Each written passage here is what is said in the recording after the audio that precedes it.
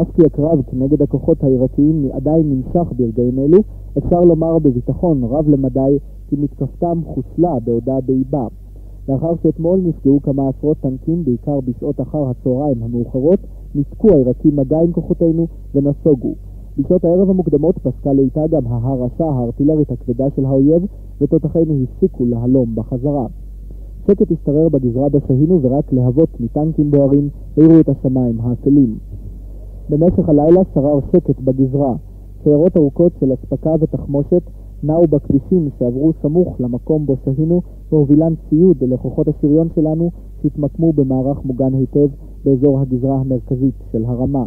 העיראקים, מסתבר, הניעו במשך הלילה את כוחותיהם מהמקום בו השמידו הטנקים שלנו, כמה עשרות מהם, לכיוון אחר. בבוקר העירו אותנו מטוסי אויב תוקפים. כל אנשי המוצב הופכים אליהם באש רצחנית, אלא שהם מתרחקים הרחק הרחק מהטווח. שני ליבים תקפו, רק אחד חזר. לאחר תקיפת המטוסים ובמקביל לה, החל ריכוך ארטילרי של האויב בכיוון ריכוזי השריון שלנו. כמות האש הייתה רבה, אך יעילותה ודיוקה היו מועטים.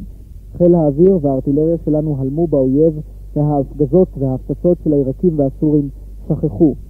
אז החלו דיווחים על תנועות שריון של האויב, בגזרתנו בעיקר כוחות עיראקיים, אלא שתנועה זו במרבית המקרים הייתה לאזורים בהם המתין המערך המשוריין של צה"ל.